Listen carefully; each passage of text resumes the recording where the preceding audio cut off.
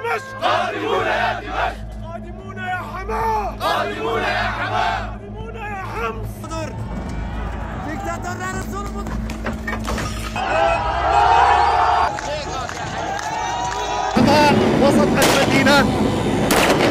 In late November 2024, a lightning offensive saw rebels take back control of Syria from the Assad government in the newest stage of a civil war that has been raging since 2011, seeing more than half a million deaths.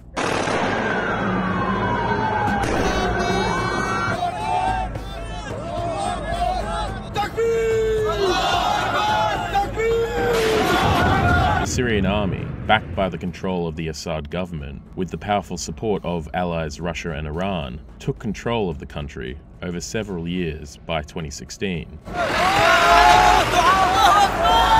It took just over a week for the rebels to take it back in 2024, after years of waiting.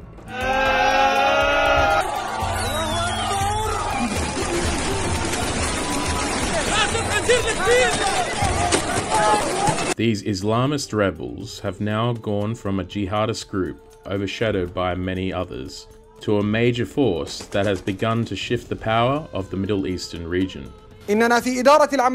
We in the Military Operations Department stand up to our responsibilities to put an end to the transgressions of this criminal regime and protect our people. So, who are Hayat Tahrir al Sham? Hayat Tahrir al Sham, also known as HTS, has had a storied history that charts back to the beginning of the Syrian civil war.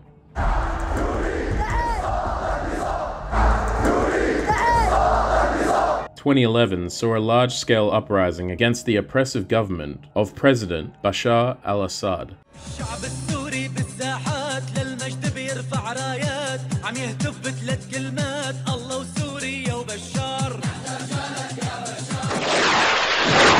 HTS began as an offshoot of the Nusra Front, which was the official Al Qaeda affiliate in Syria. Its ideology was rooted in the establishment of a strict Islamic rule across the Muslim world, one which saw them unafraid in engaging in brutal, effective combat. We are fighters dedicated to the support of the oppressed. The Syrians have been betrayed by the world. They have been under the guidance and leadership of Abu Muhammad al Julani, described as a militant leader who would later become emir or commander of what would become Hayat Tahrir al Sham. أن يحيوا بشريعة الإسلام أو أن يحيوا بشريعة الكفار فلذلك أيها الأخوة كل منا يعرف مسؤوليته ويلتزم بها In leading the charge, he would help the group forge their own path and identity, in opposition to more globally recognized groups as Al Qaeda and ISIS, which he both fought for previously in Syria and Iraq. ودخلنا بيننا وبينه في صراع القوات الأمنية المتواجدة في المحرر قامت بالإمساك بالعديد منهم ووضعهم في السجون آه، ممن كان يعني يسعى للتخريب في الثورة السورية يعني. The US State Department listed al Julani as a specially designated global terrorist in May 2013, and four years later announced a $10 million reward for information leading to his capture. ندعو بما نؤمن به ولا ينبغي لأحد أن ي- يعترض على أي دعوة يطلقها إنسان يعني وخاصة أن الشريعة الإسلامية فيها من الخير والعدل وفيها من الحلول الاجتماعية وال والإنسانية الشيء الكبير والكثير جدا فهي دعوة عادلة آه، ومحقة يعني By 2016, after five years of civil war in Syria, several pivotal changes shifted the direction of the HTS.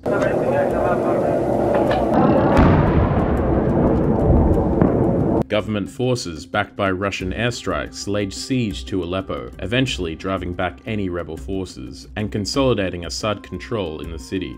The Nusra Front would publicly cut ties with Al Qaeda due to diverging jihadist agendas. The group adopted a new name, Jabhat Fateh al Sham, which means Front for the Conquest of the Levant, before merging with several other factions to officially become Hayat Tahrir al Sham, or the Organization for the Liberation of the Levant. فإن الواجب الملقى على عاتق قادة القوى العسكرية لهو واجب ثقيل فبالقوة نقارع الظلم والطغيان والاحتلالات المتعددة على أرض الشام Instead of a globalist agenda in line with Al Qaeda, HTS shifted its focus to issues specific to Syrians in all areas, with a primary focused goal of overthrowing the Assad government to establish Islamic rule in Syria. People who fear Islamic governance either have seen incorrect implementations of it or do not understand it properly.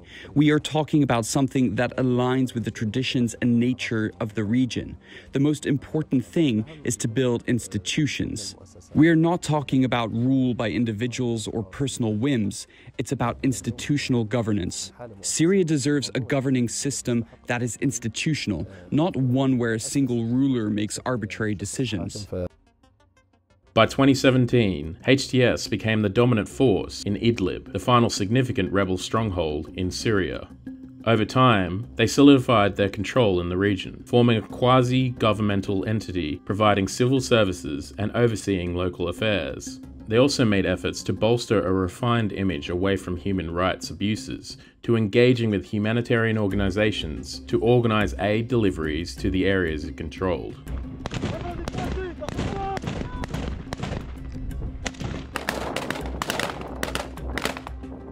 The HTS also heightened their military capabilities with the establishment of a military academy to train new troops, as well as refining their army structure by creating a special forces unit skilled in executing coordinated strategic missions. Recent years have seen several more shifts in power in the region, which has allowed the HTS to begin planning their next move.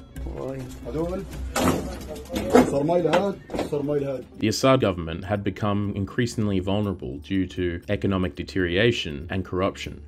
Within this saw a further reliance on their allies Russia and Iran. However, Russia and Iran would find themselves preoccupied by major conflicts with Ukraine and Israel.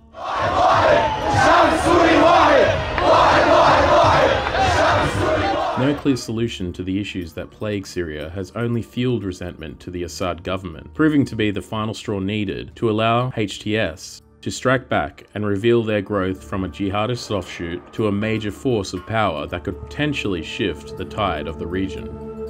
هذه المعركة يا أخواني التي أقيمت بفضل الله عز وجل هو إنتاج ثوري بحت ما استعنا بأحد ولا دعمنا أحد بل اعتمدنا على أنفسنا كله من مالنا كل هذا الإنجاز من جهدنا ومن صناعتنا.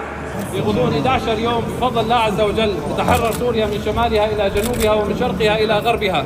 الحمد لله. هذا مدد من الله عز وجل. الحمد لله رأينا بأم أعيننا كيف أن عذابات ثلاثة عشر عاما تتعافى من خلال هذا النصر العظيم.